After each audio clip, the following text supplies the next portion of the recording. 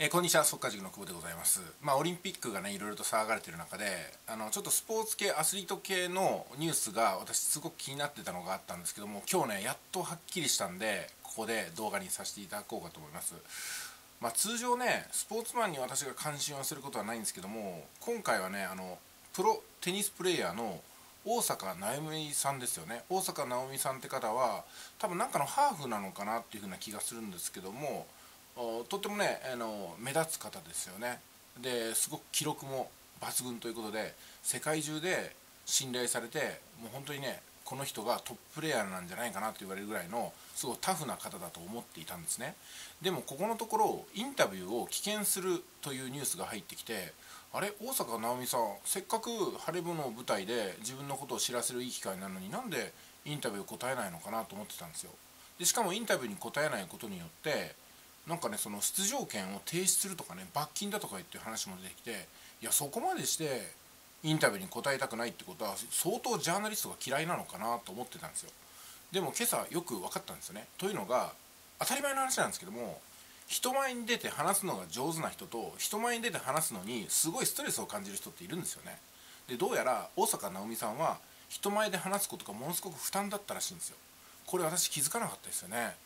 確かに人前に出て上手に話すこととかね。特にトップアスリートですから話すことによって上げ足を取られて嫌なことをね言う人もいたりとか嫌な質問をされる方もいると思いますしまあ妙なね切り取りをするそういう風な YouTuber もいると思うんですよ。そういうのを考えると公の前で責任を持ったね発信をしなければならないってことを相当ストレスで、うん、やっぱりねその記者会見の場に向く人と向かない人がいるんだなと思ったんですよね。確かにフィールドに出てラケットを握れば誰にも負けないような超鋼鉄のプレーヤーだと思うんですよ。でもマイクを前にすると途端にまあちょっとねあのまあ恥ずかしがり屋さんになっちゃうのかどうか分かりませんけども、うん、まあいろいろとありますからね。私みたいにねこうやってストレス抱えない人間 まあ言ってみればバカみたいな人間とあと繊細で全てをプレーに捧げてきた人とてもじゃないけどトークまで上手になるっていうのはついつい私たちが視聴者側でいるとねカメラの前に出たら上手に話せよぐらいに思っちゃうこういった先入観とか圧力があったのかもしれませんね。で大坂なおみさんもそういうところに、うん、まあなんかねすごくもうストレスを感じたんでしょうねきっとね。長い間長い間。本当お疲れ様でございました。もうねインタビュー出るのが当たり前なんていうのはしなくていいと思いますね。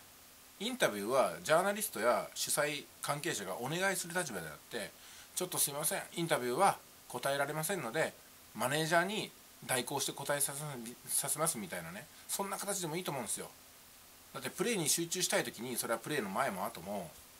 トークにまで責任持ってっつったってね。なかなかですよね。それこそ嬉しくてどうしても伝えたい時とか悔しくてどうしてもお話したい時っていうのはやっぱ気を利かしてあげればいいと思うんですけどもなんかね出場したら必ずそインタビュー席が待っているって思ったらそれこそフィールドに出るのもそのうち嫌になっちゃうかもしれませんからね。で、えー、今回のまとめなんですけども大坂なおみさんねあのカメラの前に出なくても大丈夫ですよ。あのプレーをねフィールドでしっかりとやってくださればそれが何よりのインタビューだと思いますのであの本当に今回はね私もついぞ気づかなかったとこでございます。なんかこう特に注目していたわけではないんですけどもあこういう思いの人もいるんだなと思ってね。誰でもカメラを向ければ喜ぶことじゃないってことなんですよ。それこそ世界中の人が見ているそのカメラの前に立つことマイクがたくさん向けられてね多くの人が注目してる中で上手に喋らないといけないっていうのは相当難しいことなんだなと思いました。はいということで私も配慮が足りなかったなと。私がジャーナリストだったらなんで大坂さん出ないのかなとか何考えてるのか高飛車だからっていうぐらい思ってたかもしれないです。もしくは一部の方が言われてましたけどもあの大坂なおみさんはジャーナリストにいつも失礼な質問されるんでもう答えたくなくなっちゃったんだ、ね、そんなことを言ってる方もいたりとかね。大坂なおみさんは高飛車になってるんじゃないかなみたいなことをね言う